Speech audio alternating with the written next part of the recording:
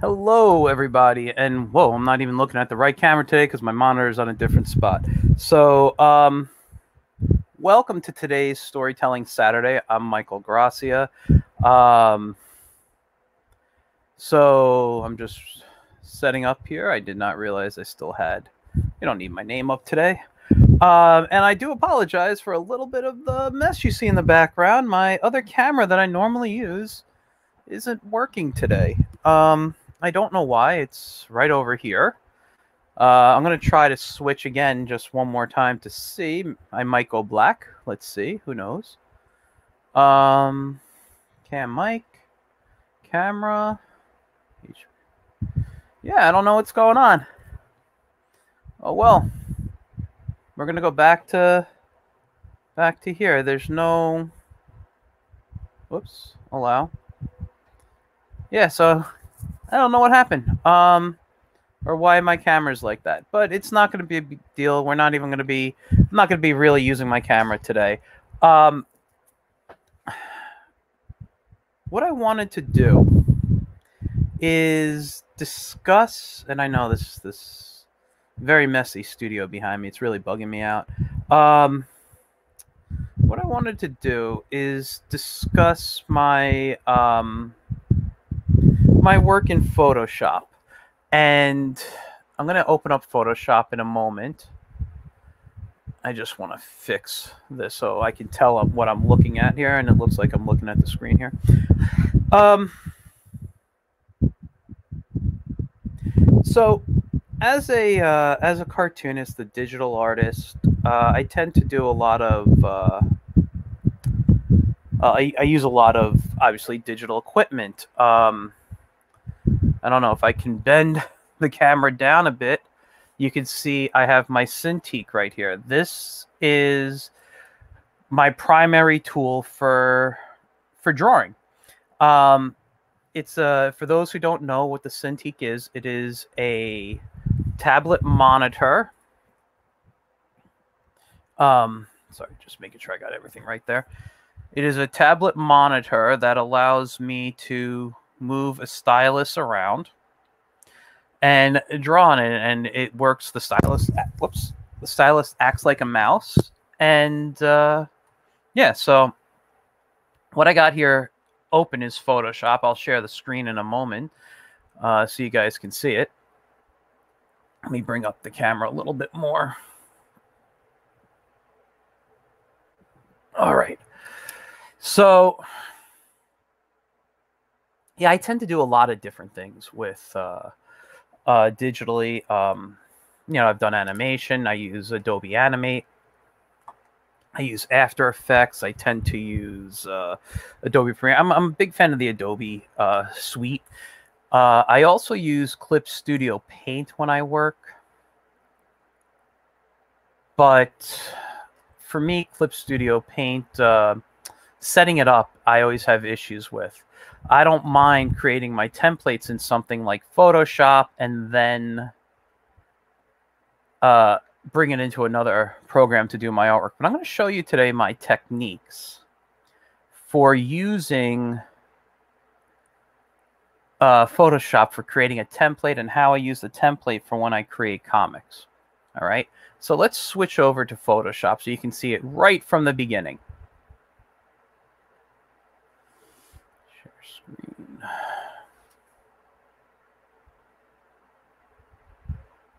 That's interesting. Okay. All right. So now you guys are seeing what I see in Photoshop, and I'm just going to make Photoshop the full screen because you don't need to see me in this. You just need my voice. So there. So what I'm going to do is I'm going to go to Create New. And because it's a comic, I want to work on 11 by 17. That's traditional drawing. So I'm going to turn, whoops, let me turn this to inches first. And I'm going to take this here and make that 11. I'm going to make the height 17. Okay. And I'm going to make the resolution 300 for now. And the color I'm going to make, uh, I could do it in grayscale or I could do it in um, CMYK if it's meant to be print. So let me just mention a few things. Uh, you guys aren't seeing the the setup here, right? Why is that? I don't know. This is weird. Okay, so anyway, I got um, you know what? Let me just create a new document first, and I'll talk about it. Let's see. Does a new document open up? Okay, so you do see the new document. All right. So I don't know why you weren't seeing the other stuff. Let's see. Okay. Sometimes I got to click on it. Let me try something again. Let me come here. Menu. Okay. And I'm going to come back and click on the screen here. I don't know why this happens, but um Okay, so you're not seeing it. So I'll just do some writing on this piece here. So let me cancel out of here and give you guys some some tips. So the first thing you want to know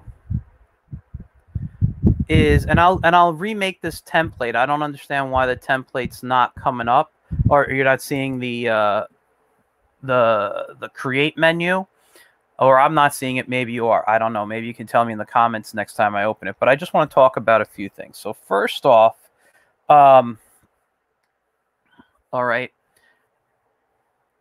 normal comic book drawing paper traditionally is 11 by 17. So this is the width. This is the height. Okay. Now we have a drawing size in here that is 10 by 15. All right. So we got 10 by uh, 11 by 17. We draw on 10 by 15. Uh, and I'm going to talk about traditional stuff the way I was taught. So the gutter, oops, come on. So the gutter, what is going on here? Could not use the brush tool because this, oh my God. Uh, so I'm having some issues today. I just I just cleaned my computer the other day. And now it's telling me I can't use it. So let me do let me try something. Sorry, guys. I do apologize. Don't save. Ah, let's go to create new. I'm going to lower my resolution so it's just good for the screen. Maybe that'll help. Okay, I'm going to set it to grayscale. Let's create. Let's get a new layer. And okay, seems to work now. All right, so let's go over this again, and I'll redo it. So, whoops, got too big of a brush now. Okay, so I know it's blurry. I'll explain why in a moment. So 11 by 17 is the width and the height. Okay. So that's 11. That's 17. And everything I'm talking about is traditionally, you know, what comic artists use or what we were taught to use. And our drawing size is 10 by 15. Now, the gutter is the space in between the panels. So if I have a panel like this, a panel like this, and a big panel like this, the gutter is right here and right here. All right. Traditionally, I'm not saying people don't use different numbers, but traditionally going back to old old school ways of working, it's 0.25 inches. So a quarter of an inch. All right. So when we're setting this up,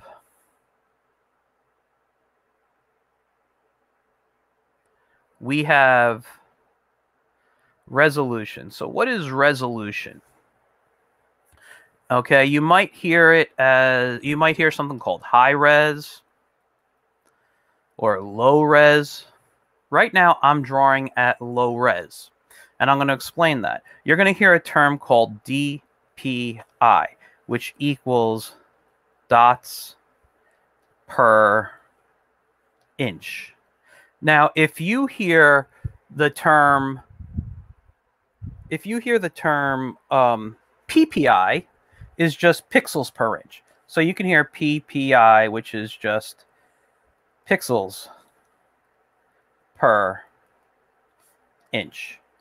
And you're going to hear this. This is for web, maybe, whoops, didn't mean that. Maybe video. I'll just write this here. This is for print. Okay? So the way this works, I'm taking off my brace for a moment. I might put it, have to put it back on. But the way this works is a low res is 72, 150. High res is 300 plus. Okay? Now, what this means is that in every inch, like on a low res, let's say, the 72, there are 72 dots. So there's little dots that make up the color, that make up the image.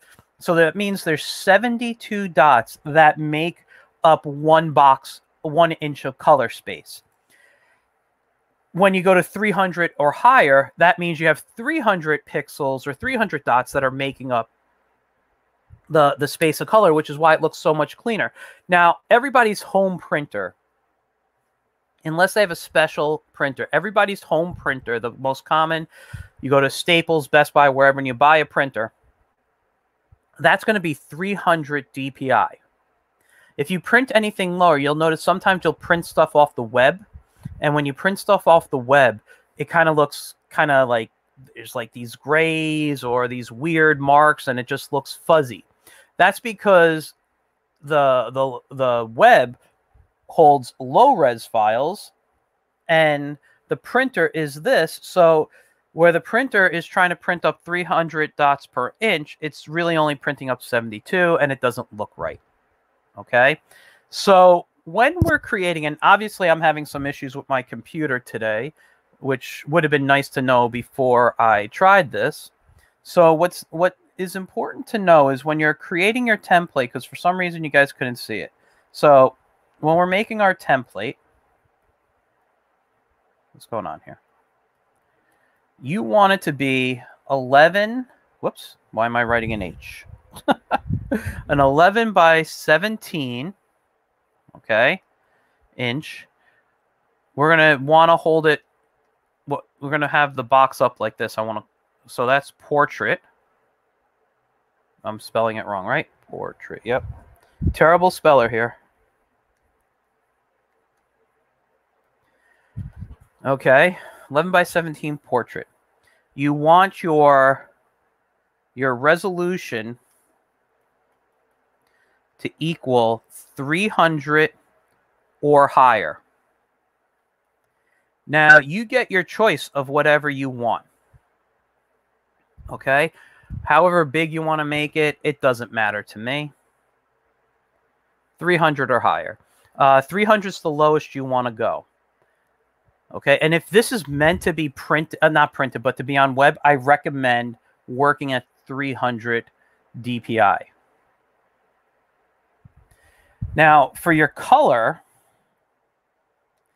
okay, RGB equals web or or video.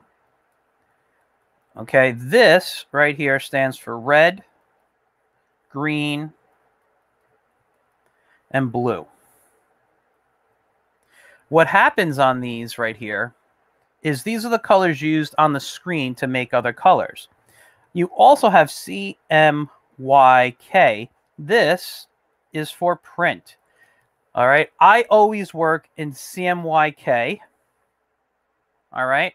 Uh, or I'll work in grayscale if there's not going to be color. Grayscale will just keep the file size smaller. So it stands for cyan, magenta, yellow, Whoops. yellow. And what a lot of people think the K stands for is black, right?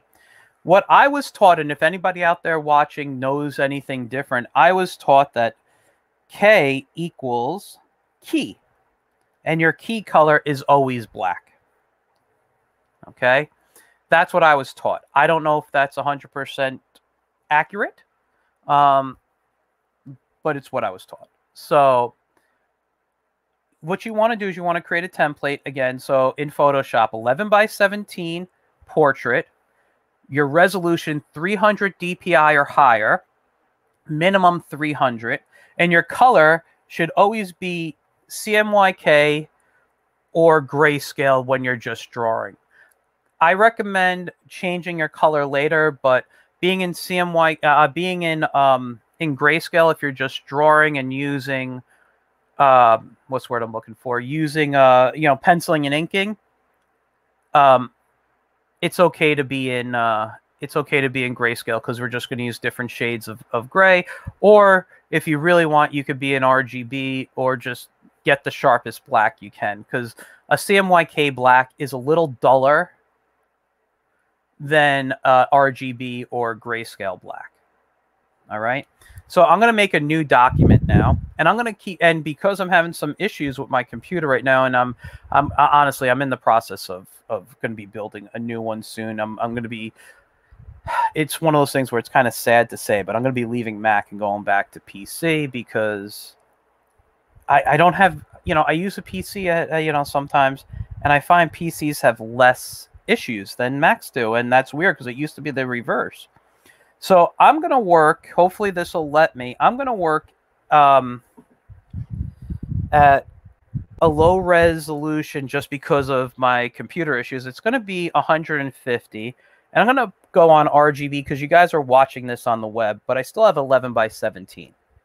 So I created a new document, and I don't know why I'm having these. Um, guidelines pop up. So let me just get rid of them because we are going to make guidelines and I don't want my own guidelines in here. I think this just might be defaulted off something else I'm working with. Um, all right. So, and and by the way, I know there's the debate out there. Um, you know, traditional versus digital. I'm for both. I I don't. I, I think they work well together. I do a lot of my work on pencil first and bring it into the computer. But when I'm working digitally, this is the process I'm going to show you that I'm working with. Excuse me. So what I like to do when I first start off, and huh, it's interesting that you can't see.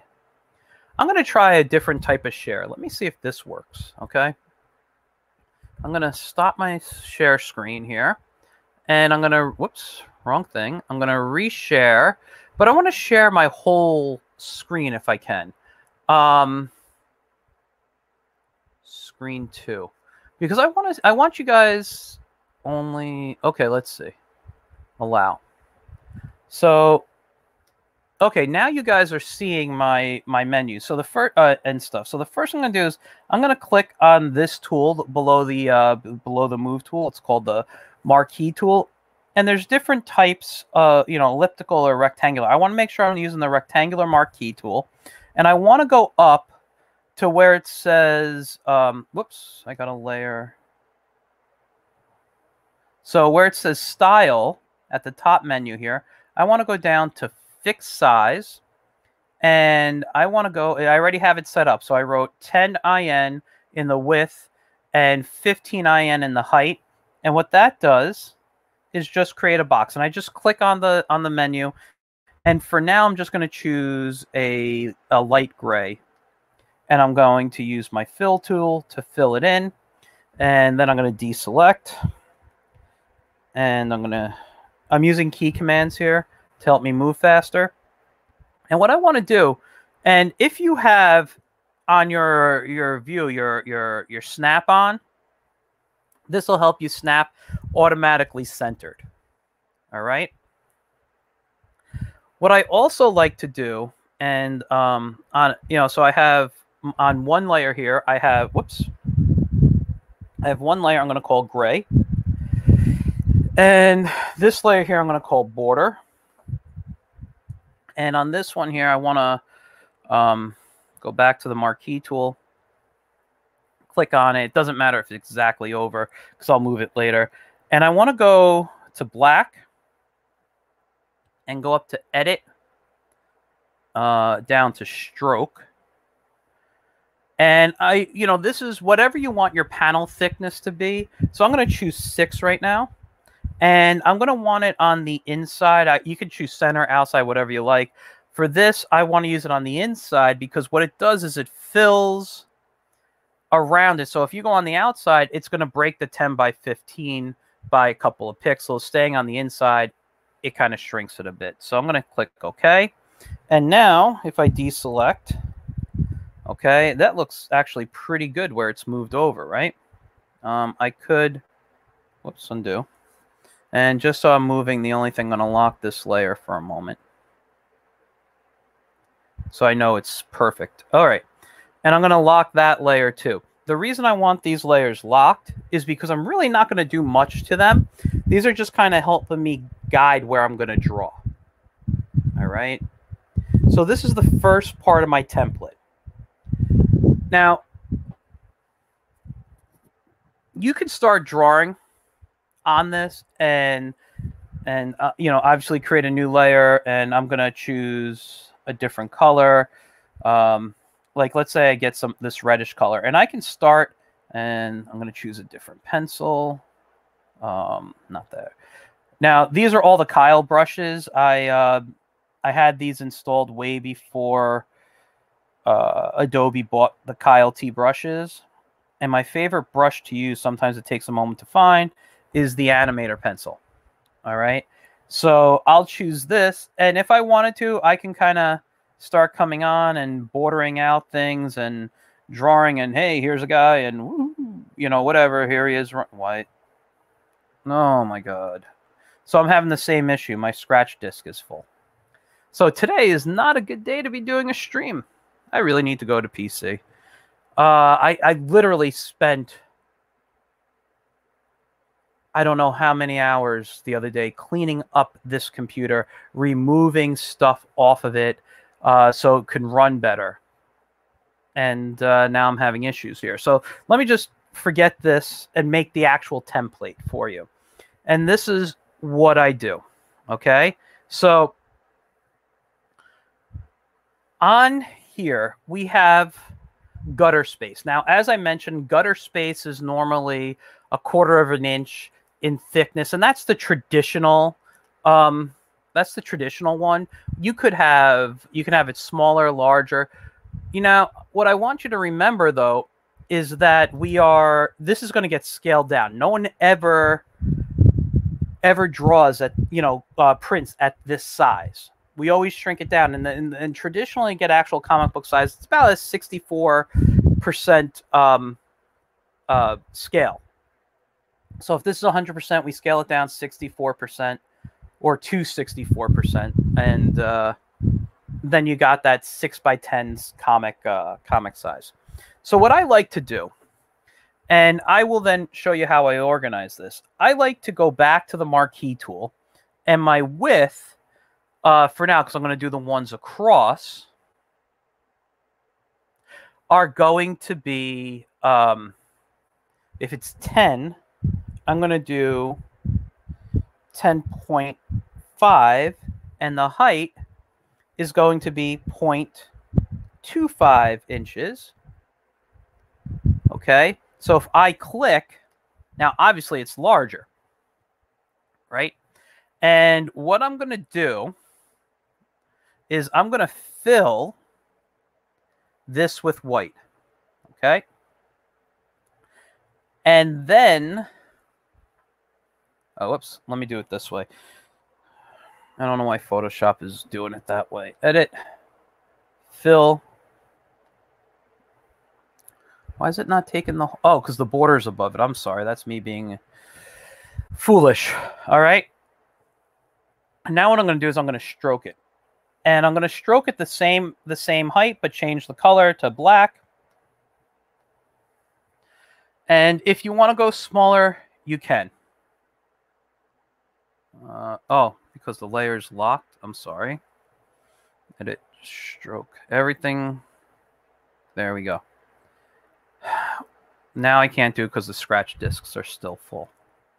So it looks like today is going to be a flop for me, which is very sad because I was looking forward to doing this. Anyway, what I do, and maybe I could do it with the pencil tool real quick, is yeah, I can't even see my my stuff here. Yep. Okay, so today is going to be a flop for me. Anyway, what I end up doing now, and I'll explain it, is I I literally chop all I, I put a border around this this long thin box and then I use the marquee tool to and I'll zoom in if I can. Hopefully it'll let me do that. Okay. And then what I do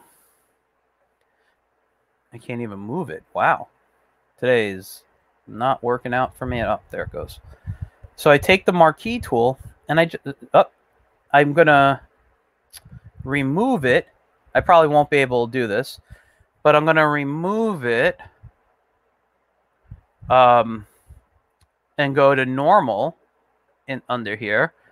And I'm going to select right up to the edge, right up to that black edge. And it won't let me. And then I delete the extra white and the extra black.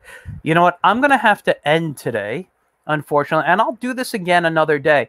I don't know why I'm having this this many issues. I got to fix this computer again. I guess I got to go through it. Like I literally spent all day um,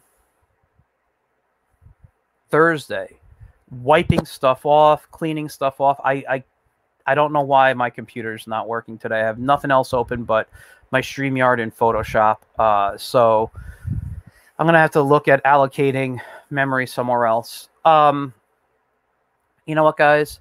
I do apologize. If I can come on later today and do it after I clean up, I promise you I will. Uh, otherwise, let's just uh, I'll, I'll I'll set this up for another day. But I need to, uh, um, you know, I need to be able to work. It's weird because, you know, right now you're seeing most of my studio, which is a mess. Usually, I use this camera here, which isn't working today. So something's up with my equipment. Something's up with uh, with the computer. Um, so I guess next time, you know, I'll, I'll, you know, everything was working yesterday when I was doing my art and setting up my cameras and stuff. So, uh, yeah, I don't know. I guess I'll, uh, I'll take a look at it, fix it, and if I can come back today, I'll come back today. If I can't, hopefully next week I'll go over this and, uh, you know, for those who tuned in, thanks a lot. I do appreciate it. Uh, come, come see me. Um, get my phone. I'll tell you. I forgot. I forgot how to say the guy's name. But come see me on on Tuesday night for my regular Get in Toon, where my guest will be the writer and artist Mike Belcher, who um, who's known for uh, Man in the Man in the Mask He's the letter and production designer at Silverline Comics for a bunch of their titles and artist on forthcoming graphic novel and pulp character The Black Bat, written by Ron. Is that Fortier? We're gonna hear a lot from him. I'm I'm actually um, and I'm sorry, I'm just bad with names, which is why I'm looking up. But I'm actually a fan of Mike's work. Uh, I've seen it a while back, and you know, recent, I'd say within the last few months, maybe a little longer, we connected on social media. And I love what I'm seeing. He's always posting a lot of DC characters, which is fun for me because I'm a big DC guy. But he also um, does it in a style that's reminiscent of like the Golden slash Silver Age. Uh, it, it kind of, you know, I don't want to. I'm not going to compare it to Darwyn Cooke but you can kind of see. I see Darwyn Cooke influence in there. Alex Toth, you know those those a little more simpler, stylized, less is more. Really seems to be the influence on there, and it's the kind of stuff I love to look at. Um, I have, I believe, I've read the first issue of uh, Man in the Mask. I have to look again. I, I think I have a digital copy of it. I, I got somewhere. Um, I'll check that out And but you guys really uh, check it out. It's called The Man in the Mask. I believe it might be on IndyPlanet if you want to look that up. Maybe it's free, maybe it's not. I don't know. Um, if it's not, pay the money. It's definitely. I I think it's worth it. I enjoyed the first issue. Um, so yeah, sadly, I'm gonna have to. Uh, I'm gonna have to wrap up because I'm having technical issues. Uh, today and I got to figure out what's going on because I can't do any of my work without my computer working. So thank you guys for tuning in. I will uh, I will hopefully come back later today and do this after I get some work done. And uh, yeah, I guess that's it. I'll show this template another time. I do apologize. Um, you know, but tune in on on Tuesday night for uh, for Mike Mike. Did I say it's Belchler? I'm sorry, I'm bad bad with names, but fantastic artist. Love his work, and uh, I'll talk to you guys soon. Um, thanks for thanks for hanging out, guys. I'm sorry I had some technical issues. We will get back to back to doing it. I promise. All right. Um, have a great day. Bye, guys.